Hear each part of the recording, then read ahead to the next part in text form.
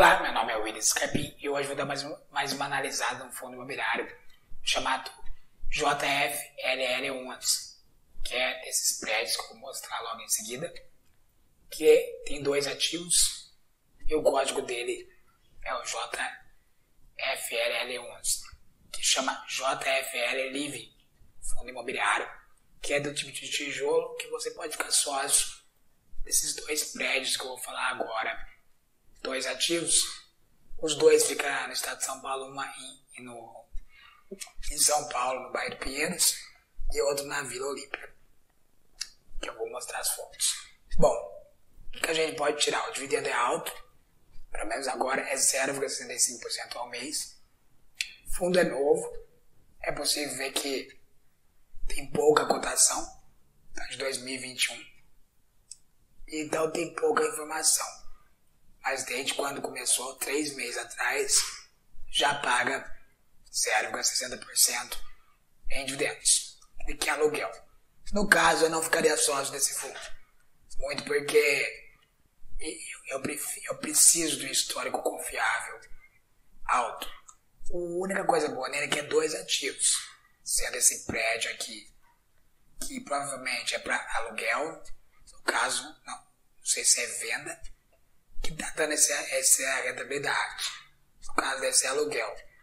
Tem pouca informação sobre ele, mas de acordo com o é, fundo de tijolo é bom, tem uma rentabilidade muito alta, tem dois ativos, o que é bom. Então é uma forma de diversificar, mas como não tem histórico, eu já estaria fora desse ativo. Mas é, é os ativos existem, que é o V-Hauser, tem como ver aqui as fotos, Provavelmente é dois prédios, mesmo um em São Paulo, outro em Vila Olímpia, com bem chique, né? Dois prédios, na minha opinião, chique, que dá para ganhar aluguel. É uma possibilidade de ficar sócio desses prédios. Em vez de você ir lá no cartório comprar um prédio inteiro, que já é quase impossível, tem que ter milhões, né? O valor desses dois prédios. O valor está cotado em 145 milhões, que é o patrimônio líquido do, do fundo, que é dois prédios, mais ou menos 70 milhões em cada prédio. Mas é claro que eles devem ter caixa também, então não é exatamente esse valor.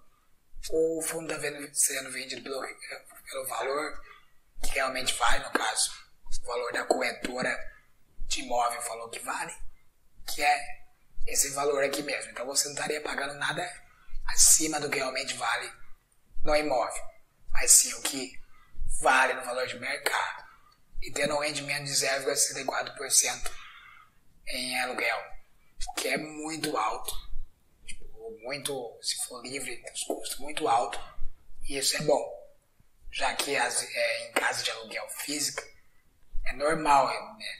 minha família mesmo tem um, uma rentabilidade de 0,25, é normal ter uma rentabilidade baixa, então essa aqui é uma rentabilidade muito alta todo mês se cair essa rentabilidade, seria ótimo, maravilhoso.